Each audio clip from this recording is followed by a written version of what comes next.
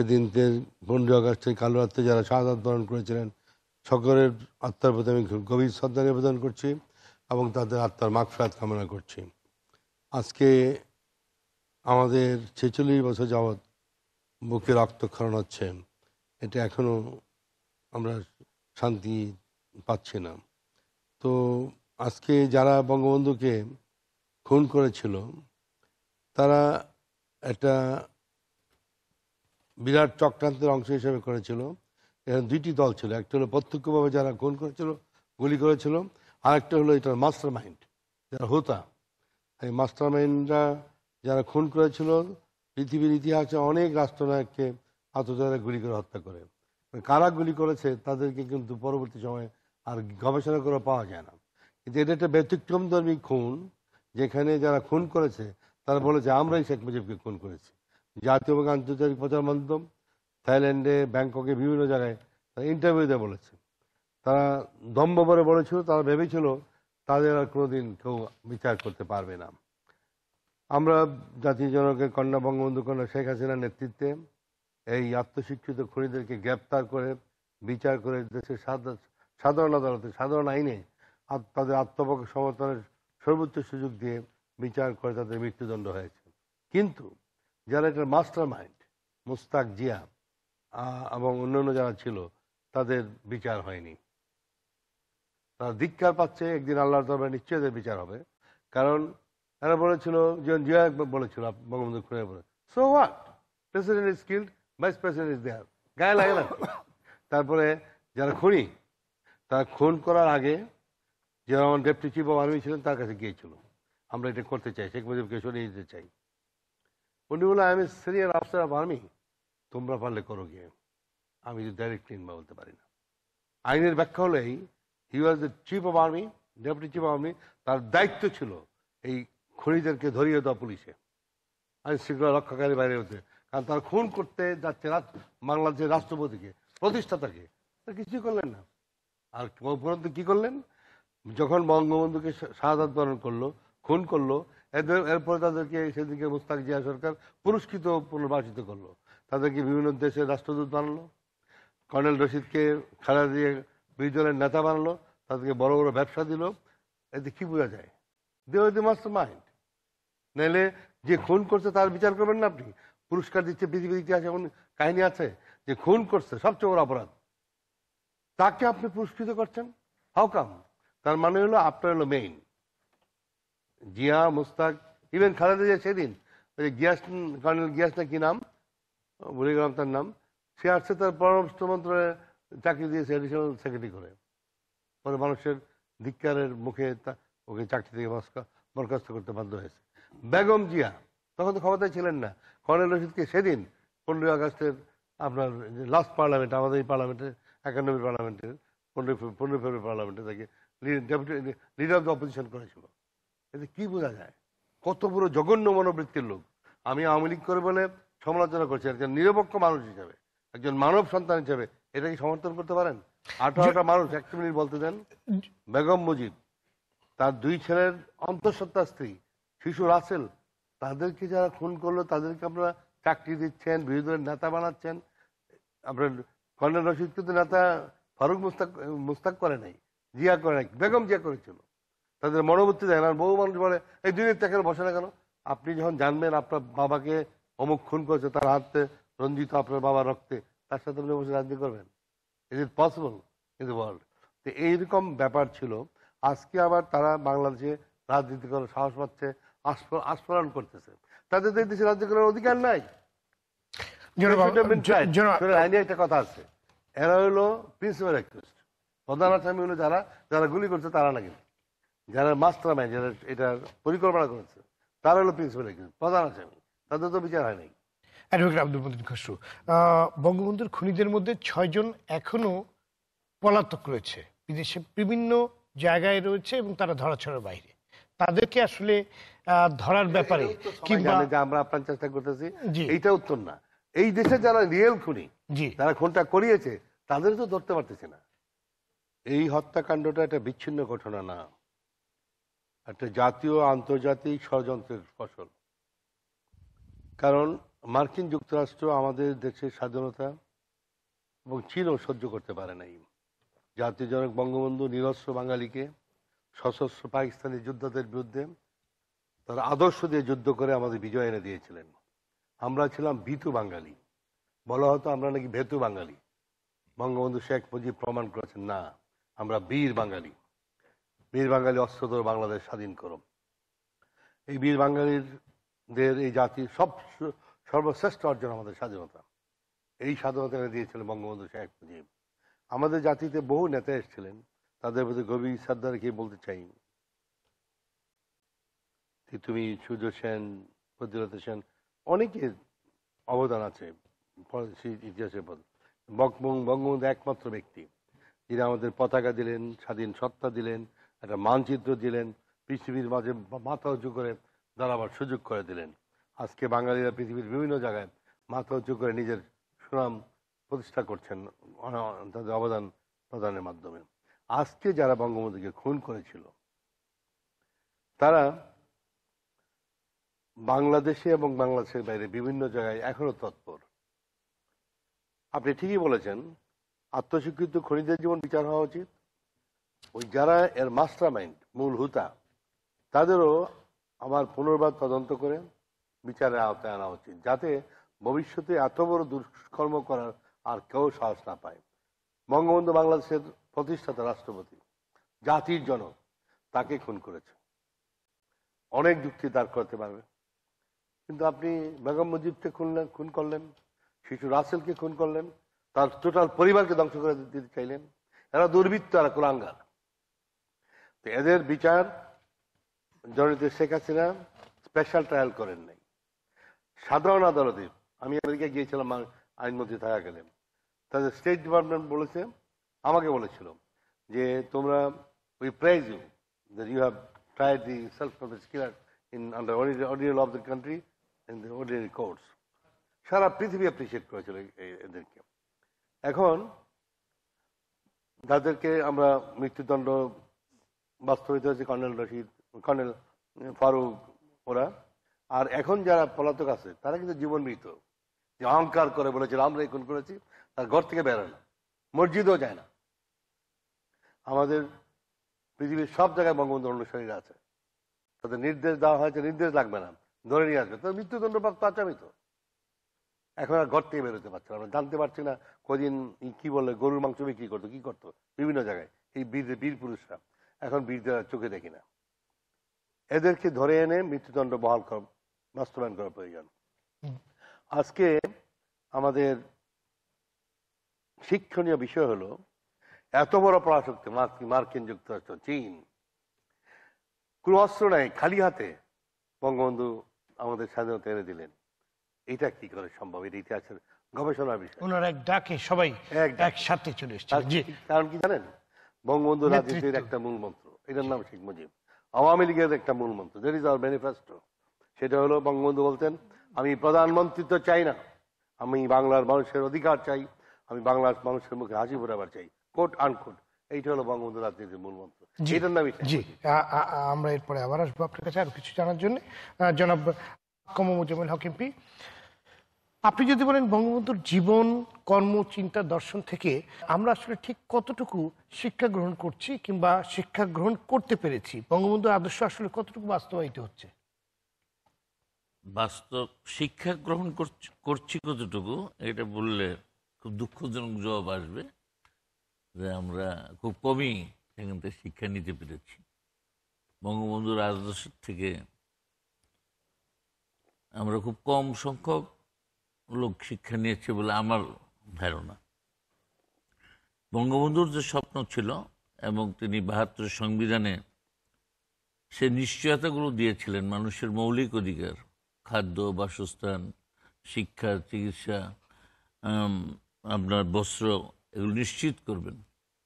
সেই ক্ষেত্রে আমি মনে করি তার রক্তের উত্তরাধিকার, আদর্শের উত্তরাধিকার, সফল রাষ্ট্রনায়ক শেখ হাসিনা দেশকে অনেক দূরে এগিয়ে নিয়েছে। আমরা কাঙ্ক্ষিত লক্ষ্যে পৌঁছি নেই। আমরা পৌঁছার একটা টার্গেটও দিয়েছি vision twenty one forty one তার মধ্যে হবে। কিন্তু আমি যে ব্যাপার একটু বলতে আগ্রহী সেটা হচ্ছে দ্বিতীয় বিপ্লব বাকশাল যাকে একটা গালি হিসাবে আজকে উচ্চারিত হয় বারবার যে বাকশাল। কিন্তু বাকশাল কর্মসূচিটার কথা কেউ বলে না, বাকশাল কি চেয়েছিল? বাকশাল করার কনসেপ্টটা কেবল একটা নাম নয়, এটা একটা অর্থনৈতিক কর্মসূচি ছিল, রাজনৈতিক কর্মসূচি ছিল, এবং যেখানে মানুষের গণতন্ত্রকে নিশ্চিত করতে চেয়েছিল। আমি ছোট্ট একটা উদাহরণ দিতে চাই। আজকে আমাদের তৎকালীন উপরাষ্ট্রপতি সৈয়দ নজরুল ইসলাম সাহেব, উপরাষ্ট্রপতি হওয়ায় তার আসনটি খালি হয়ে গেল, শূন্য আসনে। বাকশাল হওয়ার পর সেখানে নির্বাচন হলো। বাকশালের সিস্টেম ছিল, কোনো প্রার্থীকে দলীয় কোনো মার্কা নেই। মানে মানুষ যাকে খুশি দিবে, সবাই বাকশালের সদস্য। সেখানে দেখা গেল সৈয়দ নজরুল ইসলাম সাহেবের আপন ছোট ভাই, তিনি প্রার্থী হলেন আর একটা প্রাইমারি স্কুলের শিক্ষক প্রার্থী হলেন। এবং মানুষ এই প্রাইমারি স্কুলের শিক্ষককে ভোট দিল। সৈয়দ ইসলাম সাহেবের আপন ভাই ছোট ভাই, সে কিন্তু নির্বাচিত হতে পারেন নাই। অর্থাৎ মানুষের আজকে যে দলীয় বিভাজনের কারণে গণতন্ত্রটা আছে এটা নাই আমি বলব না, কিন্তু গণতন্ত্রটা দলকে ছাড়িয়ে স্বাধীনভাবে প্র্যাকটিস করতে পারে না। আর বাকশালটা করেছিল সকলে, আমরা একই দলের থাকব। এটা জাতীয় প্ল্যাটফর্ম হিসাবে কোনো রাজনৈতিক দল না। যতক্ষণ পর্যন্ত যুদ্ধ বিধ্বস্ত দেশকে আমরা গড়ে তুলতে না পারব সেটা এই ইন্টেরিয়াম পিরিয়ডের জন্য অন্তর্বর্তীকাল সময়ের জন্য। ফর টাইম বিং আর কি। এটা বলেছেন যে এটা এই সিস্টেমটা অর্থনীতিটাকে আমরা মজবুত করার জন্য বলেছিল। আজকে খুব অবাক হই যখন বিজ্ঞ বিচারকরাও বলেন এই অবস্থাটাকে ব্যাখ্যা না করে তিনি কি অবস্থা কোন প্রেক্ষাপটে? সেই দিন আপনাদের একটু আলোচনা গেল, হক কথা কি বলেছে? গণকণ্ঠ, জাসদের কি বলেছে? গণবাহিনী কি কাজ করেছে? ঈদের জামাতে মানুষকে হত্যা করেছে, এমপিদেরকে হত্যা করেছে, লুট করেছে, থানা লুট করেছে, গোডাউন লুট করেছে, পাটের আগুন, গুদাম লুট করেছে, আগুন লাগিয়ে দিয়েছে। এমনি একটি পরিস্থিতিকে নিয়ন্ত্রণে আনার জন্য সাময়িকভাবে একটা রাষ্ট্রীয় প্ল্যাটফর্ম করে সবাইকে ঐক্যবদ্ধ করে তিনি যে কর্মসূচিটা দিয়েছেন মানুষের মুক্তির কর্মসূচি, সেই কর্মসূচিটা বাস্তবায়নের কথাটা ছিল। আজকে সেটাকে বিকৃত করে এটা গালি হিসাবে দেওয়া হয়। তা আমরা মনে করি, যেই দিন আমরা বঙ্গবন্ধুর সেই স্বপ্ন, সোনার বাংলা, অর্থাৎ একটা শোষণহীন সমাজ ব্যবস্থা, একটা বৈষম্যহীন, এবং এই যে মানুষে মানুষের যে এত বৈষম্য সেই বৈষম্যটা একটা সীমার মধ্যে থাকতে হবে। সেই অবস্থাটা যখন আমরা বাস্তবায়ন করতে পারব তখনই বঙ্গবন্ধুর এই যে আমরা আজকে আহ, বার্ষিকী পালন করছি সেটা বাস্তবায়িত হবে। কেবলমাত্র মুখে মুখে আমরা বঙ্গবন্ধু প্রেমিক হয়ে বলব যে বঙ্গবন্ধুর আদর্শ বাস্তবায়ন করলাম শাহাদত বার্ষিকী পালন করলাম সেটা মূল লক্ষ্য হওয়া উচিত না। লক্ষ্য হওয়া উচিত বঙ্গবন্ধুর যে মানে অর্থনৈতিক কর্মসূচি। সেই কর্মসূচিটা বাংলাদেশে বাস্তবায়ন করে বাংলাদেশের মানুষের মুখে হাসি আমরা যদি আপনার কথা প্রসঙ্গ ধরেই বলি যে এই পনেরো আগস্ট আসলে কিংবা আগস্ট মাস আসলেই আমরা বঙ্গবন্ধু বঙ্গবন্ধুর আদর্শকে নিয়ে কথা বলি নানা রকম কর্মসূচি পালন করি। কিন্তু সারা বছর জুড়ে ওনার আদর্শের চর্চাটা সেভাবে আমরা আমরা কি পালন করি? আমরা পালন করি তার শাহাদত বার্ষিকী তার জন্য দোয়া খায়ের ইত্যাদি ইত্যাদি বলি। আদর্শ বাস্তবায়ন তো একদিনের জন্য না। আদর্শ বাস্তবায়ন করতে হবে সারা বছর ব্যাপী। তিনশো পঁয়ষট্টি দিন আদর্শ অর্থাৎ তার আদর্শটা খুব সহজ? সেটা হচ্ছে গণমুখী। গণমুখী। গণমানুষের মানে মৌলিক অধিকারগুলো নিশ্চিত করা এবং উনি অত্যন্ত গণতান্ত্রিক মনা ছিলেন সকলকে নিয়ে কাজ করা। এই যে বলেছিলেন আমি শোষিতদের পক্ষে। হ্যাঁ বিশ্ব আজ দুভাগে বিভক্ত। সেই জাতিসংঘে দাঁড়িয়ে বলছেন আমি সুশীদের এই বিষয়ে আপনার কাছে আরও জানতে চাবো তার আগে নিয়ে নিচ্ছি ছোট্ট একটি বিরতি। দর্শক নিচ্ছি ছোট্ট একটি বিরতি ফিরে আসছি অল্প সময়ের মধ্যেই। ততক্ষণ আমাদের সাথেই থাকুন। দর্শক বিরতির পর আবারও স্বাগত। দেখছেন কেমন বাংলাদেশ অনুষ্ঠান? সঙ্গে আছে আমি সৈয়দ আশিক রহমান। আলোচনার বিষয় বঙ্গবন্ধুর কাঙ্ক্ষিত সোনার বাংলার বাস্তবায়ন চাই। অনুষ্ঠানটি প্রাণ স্পাইস পাউডারের সৌজন্যে সম্প্রচারিত হচ্ছে। জনাব আকম মোজামেল হক এমপি। বিরতির পূর্বে আপনি যে কথাটি বলছিলেন সৈয়দ আবুল মাকসুদ সাহেব একটু বিস্তারিতভাবে মোটামুটি বলার চেষ্টা করেছেন যে আমাদের অর্থনৈতিক মুক্তিটা। এবং ওনার সাতই মার্চের ভাষণে দেখেন উনি বলেছেন এবারের সংগ্রাম আমাদের মুক্তির সংগ্রাম। মুক্তি অর্থ অর্থনৈতিক মুক্তি। কারণ পাকিস্তানের আমলে তো আমাদের স্বাধীন ছিলাম। পাকিস্তানের নতুন ভূখণ্ড ছিল সরকার ছিল মানে আমাদের সব কিছুই ছিল জনসংখ্যা ছিল। তাহলে আমরা আবার বাংলাদেশ করতে গেলাম কেন? মানুষ করতে গেছি যে একটা শোষণহীন সমাজ ব্যবস্থা করার জন্য, অর্থাৎ গণমানুষের মুক্তির জন্য বাঙালি জাতীয়বাদ, জাতীয়তাবাদকে প্রতিষ্ঠিত করার জন্য। সেইটাই বঙ্গবন্ধুর স্বপ্ন, সেটাই বাস্তবায়ন মাধ্যমে ওনার আদর্শকে বা ওনার প্রতি প্রকৃত সম্মান দেখানো হবে। শুধু ঘটা করে আমরা খুব দোয়া খায়ের করলাম, মিটিং মিছিল করলাম, আলোচনা সভা করলাম, সেটা নয়। মূল উদ্দেশ্য আমাদের তার আদর্শকে বাস্তবায়ন করা। এবং সেটাই হবে তার প্রতি প্রকৃত সম্মান সম্মান। এবং সেক্ষেত্রে আমি বিনয়ের সাথে বলতে চাই যে এখন দ্বিতীয় আর আমাদের সেই নেতৃত্ব আর নাই। এখন একমাত্র ভরসা তার রক্তের উত্তরাধিকার এবং আদর্শের উত্তরাধিকার দেশতত্ত্ব শেখ হাসিনাই আমি মনে করি জাতির সামনে একমাত্র ভরসাস্থল যার নেতৃত্বে এটা বাস্তবায়ন সম্ভব। জি আমাদের সাথে একটি ফোন আছে। দর্শক নাম বলে আপনি প্রশ্নটি করুন। হ্যালো আসসালামু আলাইকুম শুভ শুভরাত্রি। শামীম বলছি। জি কোথেকে বলছেন আপনি? হ্যালো? জি। আমার প্রশ্ন হচ্ছে মাননীয় মন্ত্রী মুক্তিযুদ্ধ বিষয়ক মন্ত্রণালয় আকা মোহাম্মদ জামাল আখতারের কাছে? আমরা দেখতে পাচ্ছি মুক্তিযুদ্ধের সপক্ষ শক্তি আওয়ামী লীগের মধ্যে কিছু অনুপ্রবেশ করতেছে যারা কিছু লোক অনুপ্রবেশ করতেছে যারা মুক্তিযুদ্ধের সপক্ষ শক্তি ছিল না এক সময় এবং তারা এখন ক্ষমতার আহ, উঁচু পর্যায়ে উঁচু পদেও কিছু কিছু লোককে আমরা দেখি যারা মুক্তিযুদ্ধের সপক্ষ শক্তি নয়। তাদের অনুপ্রবেশ ঘটেছে এবং এখনও ঘটছে। এক্ষেত্রে ভবিষ্যৎ আওয়ামী লীগের মানে আওয়ামী লীগের ভবিষ্যৎ কি বা দেশের ভবিষ্যৎ কি? জি আপনার প্রশ্নটি আপনার প্রশ্নটি বুঝতে পেরেছি। আহ, জনাব আহ, মোজামেল হক আপনি দেখেন, আমি-। আওয়ামী লীগের পলিসির সময় প্রতিনিধিত্ব করি না। আমি মানে প্রতিনিধিত্ব করে পার্টির প্রধান সেক্রেটারি নিশ্চয়ই ওনারা এই কথাগুলো শুনছেন। তবে এটাও ঠিক যে অনুপ্রবেশকারী আমরাই তো বলছি যে হাইব্রিড আছে আমাদের পক্ষে তো বলা হচ্ছে। তবে এটা আদর্শের যখন চর্চা শুরু হবে অটোমেটিক এগুলো ঝরে পড়বে।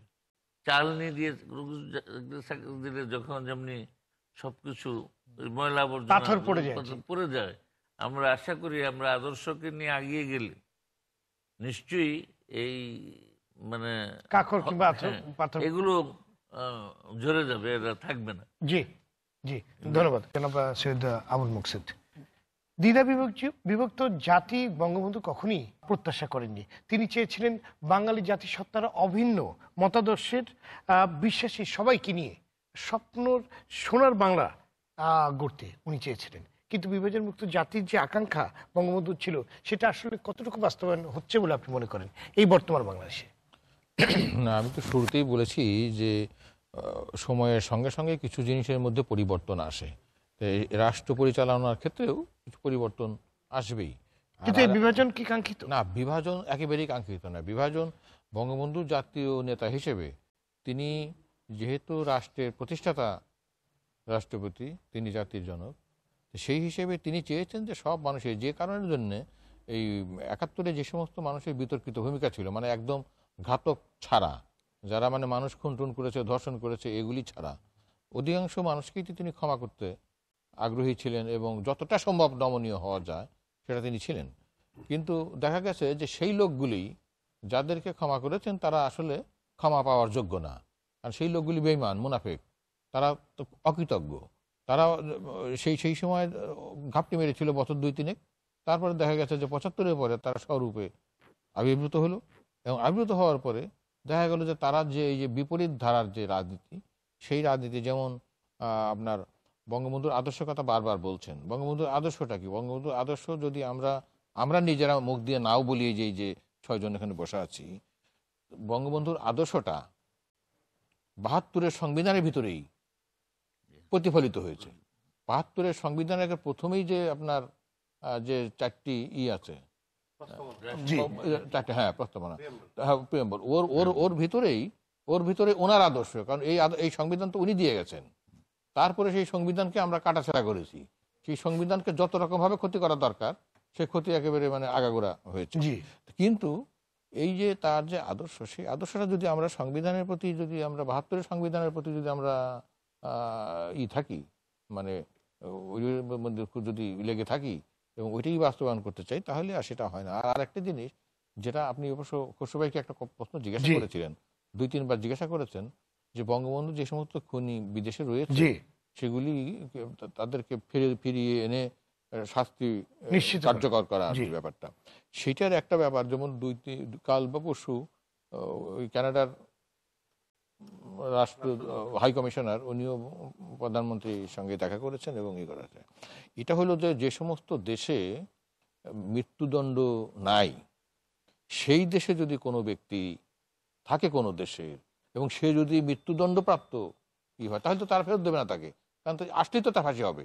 সেই কারণের জন্য এটা আনার আনার ব্যাপারে এটা এটা আইনগত একটা একটা জটিলতা আমি জিজ্ঞাসা করেছিলাম সেটা। কিন্তু না যেটা আপনি বলছেন যে এই যে তার যে আদর্শ তার আদর্শ বাস্তবায়ন একদিনে হবে না।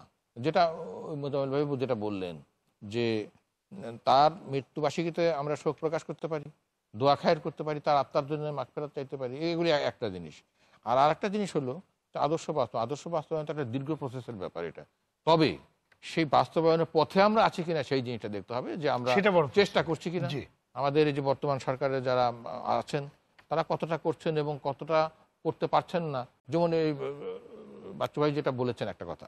সেটা হলো যে যে জায়গায় চলে গেছে সংবিধান বিভিন্ন সরকারের সময় সেখান থেকে আবার একটা চট করি একাত্তরে বাহাত্তরের জায়গায় যাওয়া এটা তো আমাদের যে আর্থ সামাজিক এবং ধর্মীয় ইত্যাদি বাস্তবতা সেই বাস্তবতায় ধা করে সেখানে যাওয়াটা একটু কঠিন বই কি? তাই সেজন্য ধৈর্য ধরতে হবে আমাদের ধৈর্য ধরতে হবে। জি পাকিস্তান শাসনামলের অর্ধেক সময় বঙ্গবন্ধুর কেটেছে। কারাগারে। তার জীবনের চার হাজার ছয়শো বিরাশি দিন বা প্রায় আহ, তেরো বছরই কেটেছে কারাগারের প্রকোষ্ঠে। জনকল্যাণের স্বার্থে বর্তমান রাজনীতিবিদদের মধ্যে এই ধরনের ত্যাগ কিংবা স্যাক্রিফাইসের মানসিকতা আসলে কতটুকু আছে? না না এইটা হচ্ছে যে উনি যে কারাগারের পাকিস্তানি আমলে শুধু উনি একা না। পাকিস্তানি পাকিস্তান সরকার একেবারে সাতচল্লিশের পর থেকে এই দেশে যারাই প্রগতিশীল তাদেরকে এই কারাগার, কারাগারগুলো ভরে গেছিল তো এই সমস্ত। বামপন্থীরা সমস্ত কমিউনিস্টের কারাগারে ছিল। তারপরে বঙ্গবন্ধু ছিলেন, মৌলানা ভাসানি ছিলেন, আরও একেবারে তোহা ছিলেন আব্দুল মতিন ছিলেন, আরও বহু রকমের। কিন্তু বঙ্গবন্ধু অনেক বেশি নির্যাতিত হয়েছেন এবং তার প্রতি পাকিস্তান সরকারের যে আক্রোশ আইব সরকারের যে আক্রোশ তারপরে মোনাম সরকারের যে আক্রোশ সেটা তো কিন্তু ওনাকে দমাতে পারেনি না না দমাতে ওনার যে স্পিরিট ওনাকে তো ওনাকে তো আপনারা কাছের থেকে দেখেন নাই আমরা দেখেছি। উনি মানুষটাই তো নায়কোচিত। জি। তার পাশে দাঁড়াইলে মানে আমরা তো এখানে যে কয়জন আছি মোটামুটি লম্বা মানুষই। কিন্তু তার আমাদের চেয়েও তো মানে তাই নয় তার দেখলেই তো নায়ক উচিত এরকম তো একটা বাঙালিকে তো দেখা যায় না এরকম। আপনি যে ছবিটা দেখাচ্ছেন যে সেটা হইতেছে আপনারা ওইভাবে মানে আমাদের আমাদের আমাদের আমাদের দুর্লভ সৌভাগ্য যে তার সঙ্গে গাড়িতে প্লেনে হেলিকপ্টারে ঘোরার সৌভাগ্য হয়েছে আমাদের এটা তো একটা দুর্লভ এটা আর কারও হয়তো হবে না। কিন্তু যেহেতু তিনি নাই আজ। সুতরাং তার পাশে দাঁড়ালে তো দেখলেই তো উঁচু করে দেখলেই তো মনে হতো যে একজন মহানায়ক। সুতরাং তার কাজেও মহানায়ক মানুষের প্রতি তার অঙ্গীকারের দিক থেকে তিনি মহানায়ক তো সব দিক থেকেই তার আমার প্রশ্নটা যেটা ছিল যে উনার যে আত্মত্যাগ হ্যাঁ। এই যে স্যাক্রিফাইস বড় গুণটা তার বড় গুণ হলো সাহস। সাহস। তিনি পাকিস্তানি স্বৈর শাসনের বিরুদ্ধে শুধু যে আইব খানের মিলিটারি আমলে যে তিনি বারবার জেলে গেছেন জেল থেকে বেরিয়ে জেল গেটে আবার গ্রেপ্তার হয়েছেন। আবার কিন্তু তার যে বাঙালিত্ব তার যে সাহস এবং তিনি আইব খানের আগে যে গণতান্ত্রিক সরকার ছিল পাকিস্তানে মানে আটান্নর আগে সাতচল্লিশ থেকে আটান্ন পর্যন্ত যে এগারো বছর সেই এগারো বছরও তিনি অনেকবার জেলে গেছেন। তো সুতরাং তার তাকে তা- তার তো জেলে গেছেন কিসের জন্য? জনগণের কথা বলেছেন। জনগণের কথা বলার জন্য স্বৈর শাসকের ভালো লাগে নাই সেটা। সেই জন্য এবং তাকে জেলে ঢুকিয়ে রাখা মানে হলো যে জনগণের মুখ কারণ উনি স্পোক্সম্যান ছিলেন তিনি জনগণের মুখপাত্র ছিলেন তিনি বাংলার পক্ষে কথা বলেছেন বাংলা ভাষার পক্ষে বলেছেন। যেটা বাচ্চা ভাই বললেন যে আমাদের তো জাতীয়তাবাদটা হলো একটা সাংস্কৃতিক জাতীয়তাবাদ। এটা ধর্মীয় জাতীয়তাবাদ না এটা মুসলিম জাতীয়তাবাদ না। এই জাতীয়তাবাদ হলো বাঙালি জাতীয়তাবাদ এর সঙ্গে বাঙালির হাজার বছরের সংস্কৃতি। আর আরেকটি কথা বলে আমি শেষ করব ওনারা গুরুত্বপূর্ণ বক্তব্য রাখবেন সেটা হলো এই যে স্বাধীনতার পর পর বাংলাদেশের ব্যাংকগুলির নাম দেখেন আপনি।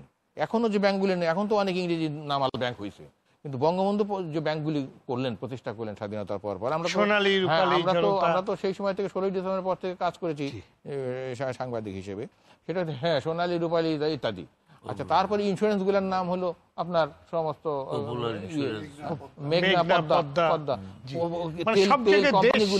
তেলের কোম্পানিগুলোর নাম এরকম হলো। মেঘনা। রেডিওর নাম তিনি করলেন বাংলাদেশ বেতার। এবং ষোলোই পনেরোই পনেরোই সকালবেলা এই মুশতাক মুশতাক যখন ভাষণ দেন তিনি কিন্তু বাংলাদেশ বেতারে ভাষণ দেন নাই। তিনি ভাষণ দিয়েছেন রেডিও রেডিও বাংলাদেশে। সুতরাং হ্যাঁ রেডিও পাকিস্তানের আদলে। তো সুতরাং তার একেবারে ওই দিন সকালবেলায় তার একদিন পরে খন্দকার মুশতাকের প্রথম যে অর্ডারটা প্রথম খন্দকার মুশতাক প্রেসিডেন্ট হিসেবে যে অর্ডার জারি করেছেন সে অর্ডারটা কি?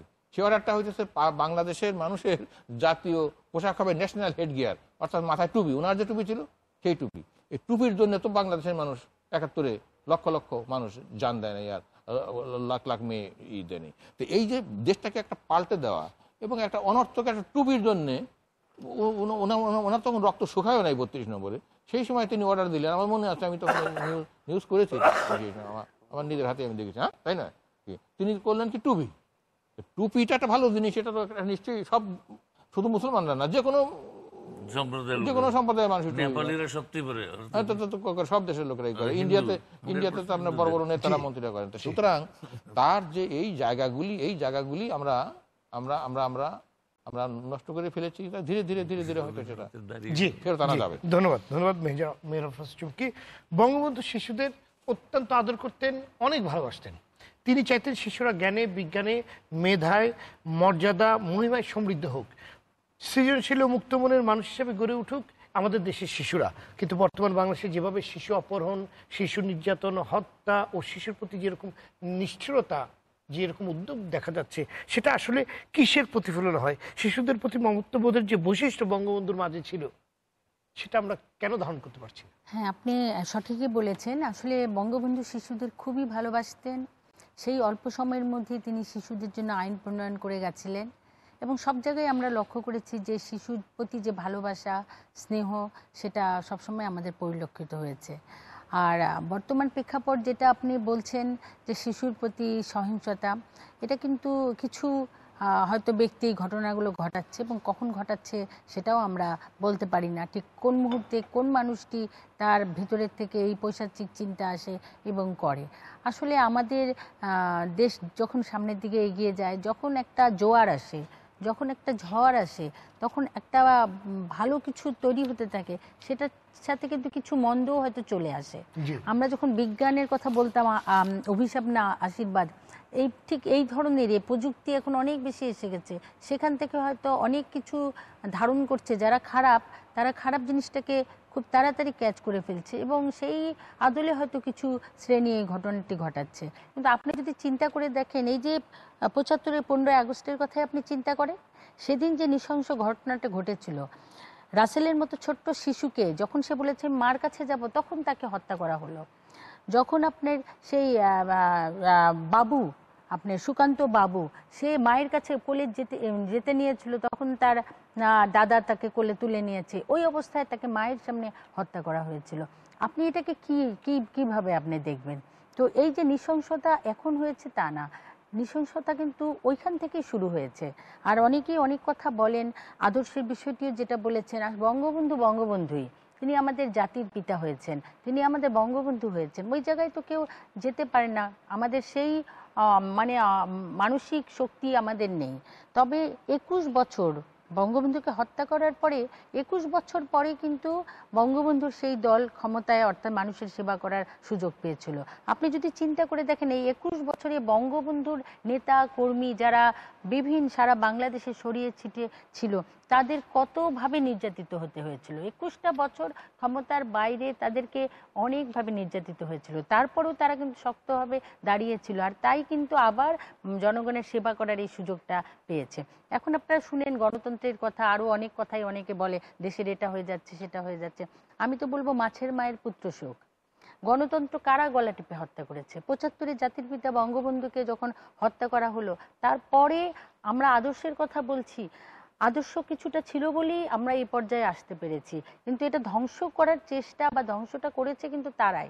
যারা সেনাবাহিনী থেকে এসে দেশ শাসন করেছে, এটা কোন গণতন্ত্র? যারা গণতন্ত্রের নামে হানা, ভোট দিয়েছে নাইনটি ভোট নিয়ে তারা দেশ শাসন করেছে, এটা কোন গণতন্ত্র ছিল? যারা ক্ষমতায় থেকে বিরোধী দলীয় নেত্রী আমাদের বর্তমান মাননীয় প্রধানমন্ত্রী ছিলেন, তাকে হত্যা করার জন্য একুশে আগস্টের মতো বোমা হামলা করেছিল, এটা কোন গণতন্ত্র? এটা কি ধরনের নৃশংসতা আপনিই বলেন? তো আমাদের এই যে শিশুদের প্রতি নির্যাতন বলেন বা নারীদের প্রতি নির্যাতন বলেন বা বিভিন্ন বিষয়গুলো বলেন, এখন কিন্তু এটা উঠে আসছে। এখন কিন্তু আমরা এটা বিচার করছি। কিন্তু একসময় কিন্তু এই কথাগুলোই কেউ বলতো না। দশ বছরের মেয়ের তো বিয়ে হয়ে যেত। বারো বছরের মেয়েদের বিয়ে হয়ে যেত। ঘরে ঘরে কি হতো আমরা জানি না। কেউ সব মেয়েরা মনে করতো এটাই বুঝি নিয়তি। বঙ্গবন্ধুই কিন্তু সংবিধানে নারী পুরুষের সমতার কথা বলেছেন। বঙ্গবন্ধুই কিন্তু এই শুরুটা করে গেছেন। এখন আমরা সাস্টেনেবল ডেভেলপমেন্ট গোলের কথা বলি এমডিজির কথা বলি, প্রত্যেকটা আপনি লক্ষ্য করে দেখবেন, এই প্রত্যেকটার কথা কিন্তু বঙ্গবন্ধুর মুখ দিয়ে এসেছে। বঙ্গবন্ধুই প্রাইমারি স্কুল জাতীয়করণ করেছেন। সুযোগ করে দিয়েছিল মেয়েরা, ছেলেরা যেন লেখাপড়া করতে পারেন। এবং নারী পুরুষের সমতার জন্য তিনি পার্লামেন্টেও নারীদের স্থান করে দিয়েছিলেন। সেটা সিলেক্টেড পোস্টে হোক কিন্তু উনি চেয়েছেন যে সেখান থেকে যেন মেয়েরা আস্তে আস্তে পলিটিক্যালি এগিয়ে আসে বিভিন্নভাবে এগিয়ে আসেন। আমাদের দুর্ভাগ্য আমরা আমাদের ভালো জিনিসটিকে ধরে রাখতে পারি না এবং পারি নাই আমরা। সেই ব্যর্থতার জন্যই তো এখন বাংলাদেশ এত আজও আমরা সেই লক্ষ্যে পৌঁছাতে পারিনি। তো আমাদের একটাই সৌভাগ্য যেটা ঘাতকরা সবাইকে হত্যা করার পরেও বঙ্গবন্ধুর রক্তের পরিবারের দুই কন্যাকে তারা হত্যা করতে পারেনি। এটাই আল্লাহর কাছে অশেষ মেহেরবান। আর সেই কারণেই বঙ্গবন্ধুর আদর্শ, বঙ্গবন্ধুর কন্যার ভিতরে আছে বলে আজকে সেই প্রতিকূলতা, নানান কিছুর পরেও তিনি আমাদের বাংলাদেশকে একটা পর্যায়ে নিয়ে চলে এসেছেন। আপনি দেখেছিলেন তো আপনি যে হত্যার কথা বলছেন, আপনি যখন আমাদের এই যে নির্বাচনটা হলো, তার আগে মুহূর্তে নির্বাচনকে বানচাল করার জন্য আমাদের কতজনকে পেট্রোল বোমা মেরে হত্যা করা হয়েছে? আমি নিজে চোখে দেখেছি যে হসপিটালে যে ছোট্ট শিশু কাতরাচ্ছে পেট্রোল বোমা মেরেছে, মা তাকিয়ে আছে, চেহারা বোঝা যাচ্ছে না, সন্তানের চেহারা বোঝা যাচ্ছে না, বাবা দাঁড়িয়ে আছে। আমি দেখে, আমার মনে হয়েছে আমি আমার আমারই প্রতিচ্ছবি আমি দেখছি। আমার তখন নিজের থেকে অটোমেটিক চিৎকার এসে গেছে গলা থেকে। তো এগুলো কি নৃশংসতা? তো কোন নৃশংসতাকে আপনি বেশি বড় করে দেখবেন? যারা ছোট্ট শিশুর কে অত্যাচার করছে, ওটার সাথে আর এটাকে আপনি মিলিয়ে দেখেন? একটা সুপরিকল্পিত ভাবে আর একটা হয়তো তাদের ভিতরে বিকৃত মানসিকতা আছে, এই সকল বিকৃত মানুষরাই ঘটনা ঘটাচ্ছে। তো আমাদের দেশে এই বিকৃত মানসিকতার মানুষরা যখন রাজনীতি করে, আর সেই রাজনীতির কথা তাদের মানে বিভিন্ন গণতন্ত্রের কথা তাদের মুখ থেকে শুনি, তখন লজ্জা ছাড়া আর কিছু থাকে না আমাদের। জি, ধন্যবাদ। জনাব নাসিরুদ্দিন ইসুফ পাচ্ছ। বঙ্গবন্ধু বলেছিলেন, সাংস্কৃতিক স্বাধীনতা ছাড়া রাজনৈতিক ও অর্থনৈতিক স্বাধীনতা অর্থই তার তাই মাটি ও মানুষকে কেন্দ্র করে গণমানুষের সুখ শান্তি ও স্বপ্ন এবং আশা আকাঙ্ক্ষাকে অবলম্বন করে গড়ে উঠবে বাংলার নিজস্ব সাহিত্য সংস্কৃতি।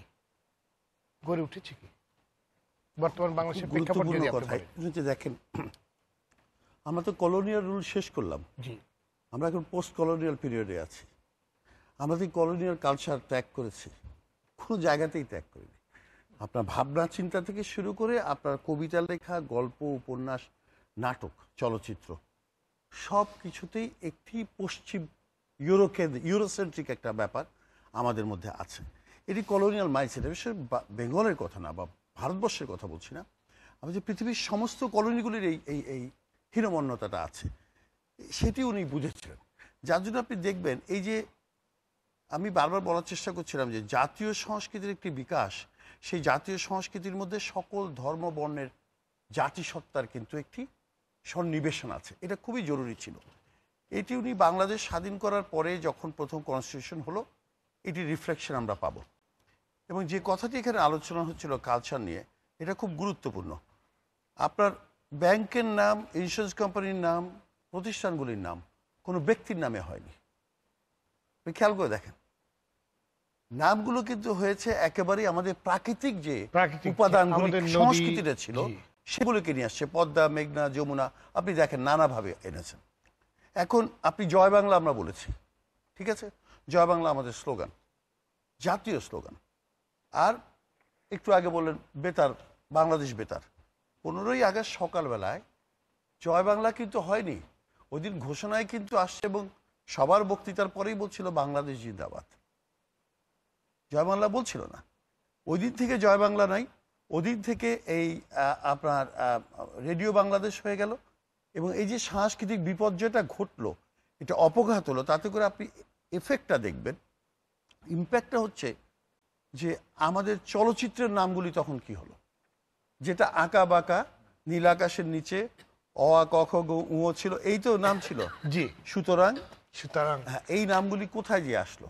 এই নামগুলি আসলো আবে হায়াত জাং, মহল। তো কালচারালি তো আপনি এমন শব্দ, বিজাতীয় শব্দ নাচে টেলিভিশনে আপনাদের যদি খেয়াল থাকে, তখন বাংলাদেশ টেলিভিশন যে আমাদের মেয়েরা নাচতো, নৃত্যশিল্পীরা, সুন্দর শাড়ি পরে, এটা পরে। প্রত্যেকের মাথার মধ্যে একটি কাপড়, লম্বা কিছু কানের দুল। এই পর্যন্ত ঘেরাও করা, একেবারে মনে হবে একটা পেছনে খেজুর গাছ। টেলিভিশনে এটি ঘটেছে তো, পঁচাত্তর থেকে অনওয়ার্ড বাঙালি সংস্কৃতি বিদায় হলো। নতুন যে সংস্কৃতি আসলো, যে উচ্চারণগুলি শুনলো আমাদের বাচ্চারা, তারা কিন্তু ভিন্ন একটা সংস্কৃতি। এটা মুক্তিযুদ্ধ থেকে যোজন যোজন মাইল দূরে। আমার বক্তব্য হচ্ছে যে, ওই যে আপনার যদি অধিকার আদায় করতে হয়, তাহলে আপনার ভাষায় আপনাকে কথা বলতে হবে। আপনার যদি অধিকার আদায় করতে হয়, তাহলে আপনার কবিতা, গানটি আপনার ভাষায়, আপনার রীতিতে, আপনার প্রয়োগে ঘটতে হবে। অর্থাৎ জাতিসত্তার বা ব্যক্তির সেই ঘটনাটি থেকে আস্তে আস্তে দূরে সরিয়ে দিল। স্বৈরশাসক সেরা শাসকরা তাতে করে আপনি অধিকার আদায়ের আন্দোলনে কুড়িটা বছর পার হয়ে গেল। দুটি দশক, দুটি দশকে দুটি জেনারেশন ভিন্নভাবে বড় হলো।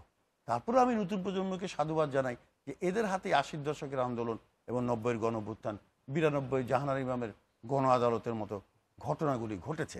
এবং আপনি খেয়াল করেন, এই যে ধারাবাহিক আন্দোলন, এই আন্দোলনগুলি কিন্তু আরও বেগবান, আরও স্ফীত, আরও তড়িৎ গতিতে হতে পারত।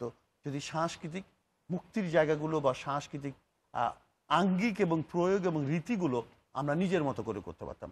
পঞ্চাশ দশকের গান কবিতা, ষাটের দশকের গান কবিতা, ষাটের দশকের স্লোগানটা কি? পদ্মা, মেঘনা, যমুনা, তোমার আমার ঠিকানা। আপনি খেয়াল করেন, আপনি এটা কেমন করে ভাবেন যে আমার জাতীয়তাবাদের, আমার সংস্কৃতির উৎসটা কি?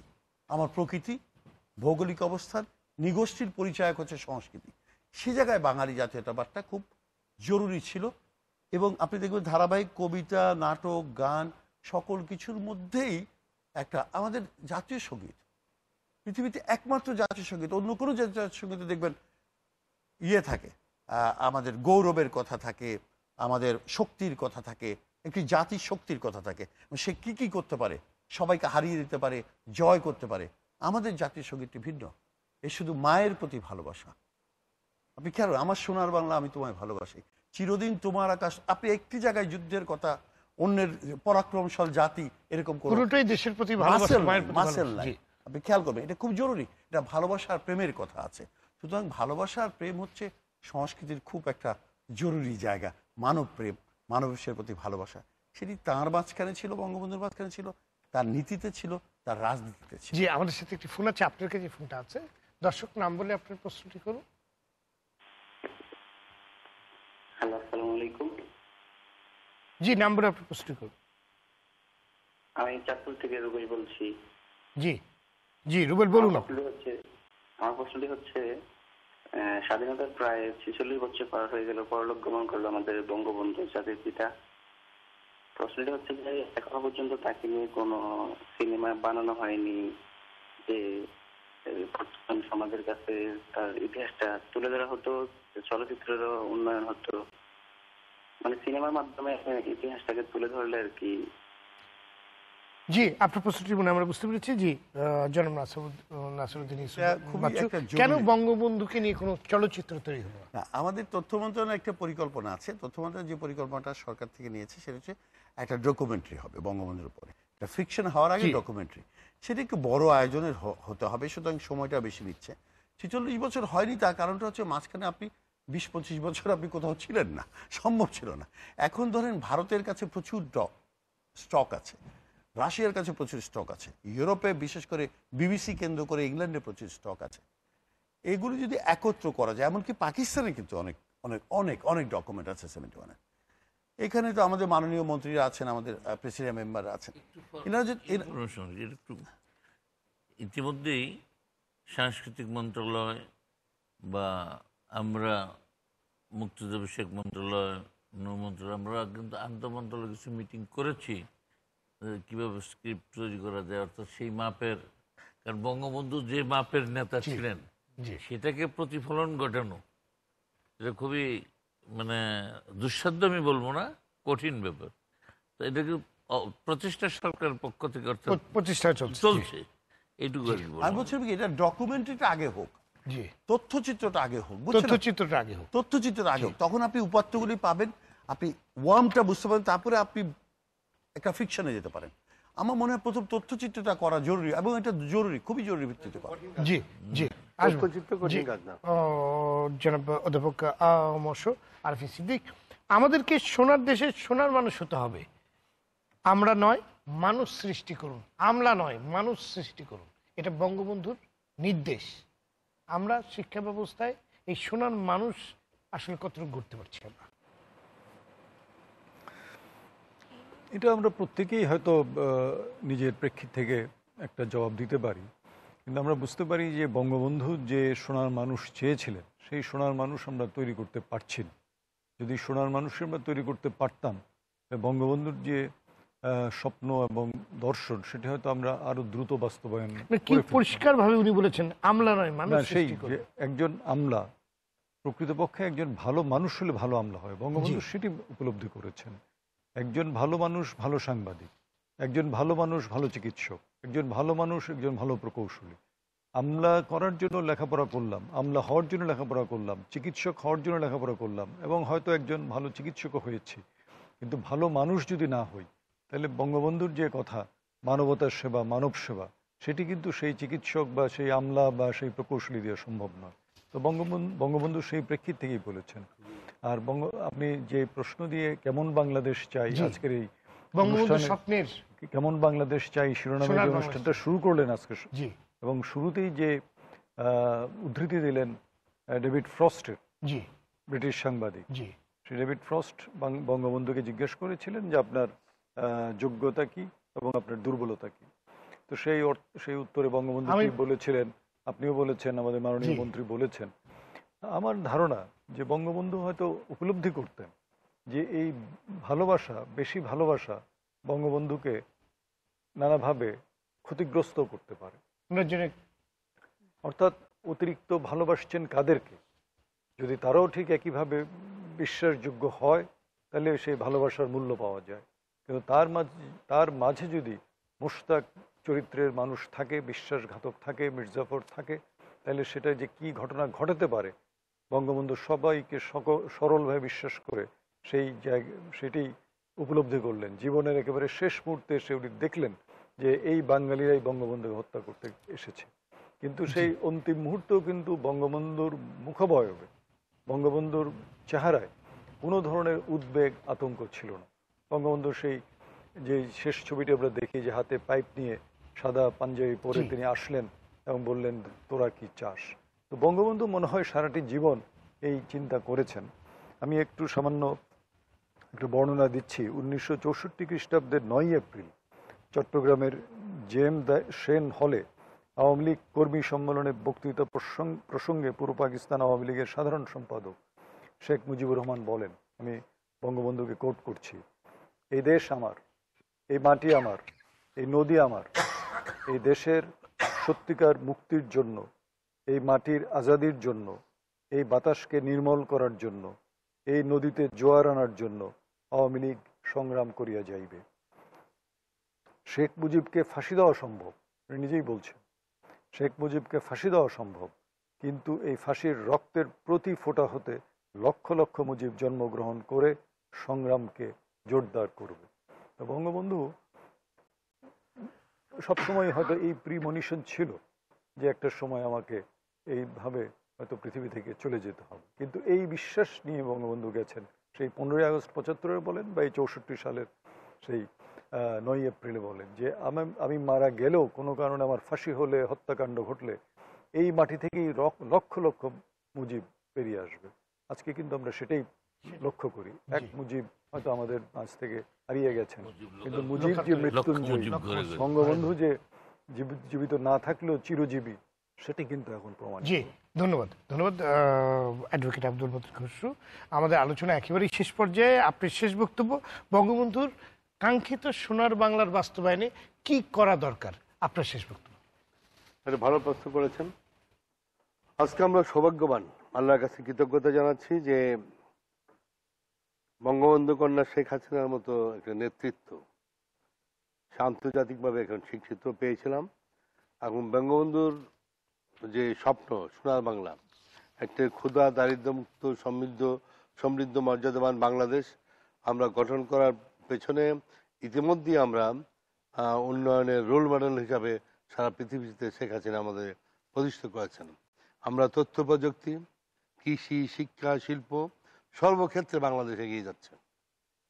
দুটো কনফার্ম লিডারশিপ বঙ্গবন্ধু কন্যার বড় আপনার গুণ হলো, তিনি নির্ভীক দূরদৃষ্টি সম্পন্ন অত্যন্ত বুদ্ধিমতী বিচক্ষণ এবং বঙ্গবন্ধুর যে ফেলে যাওয়া সোনার বাংলাদেশ, এই বাংলাদেশকে আজকে আমরা সব দিক দিয়েই উ- উন্নতির চরম শিখরে নিয়ে যাচ্ছি।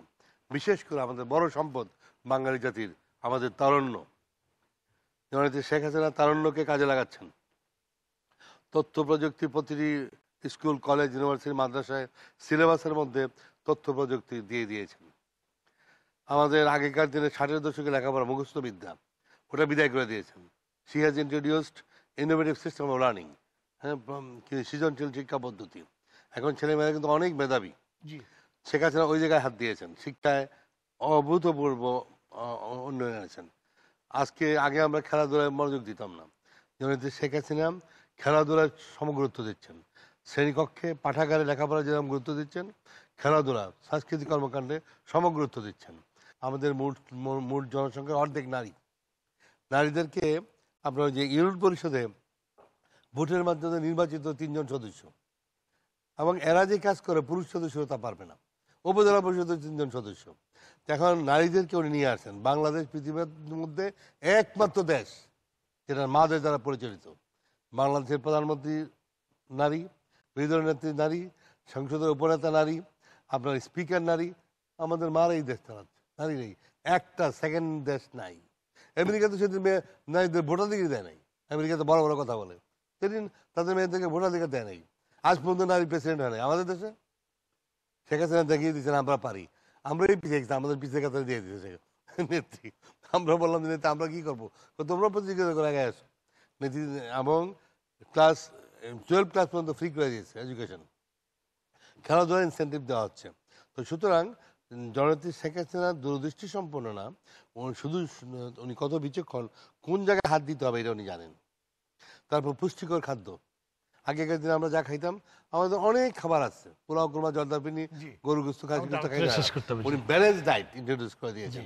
হোয়াট টু ইট পুষ্টিগান সম্পর্কে উনি ম্যাক্সিমাম এমফাসিস দিয়েছে। গ্রাম বাংলায় পুষ্টিগান আছে মেয়েদের।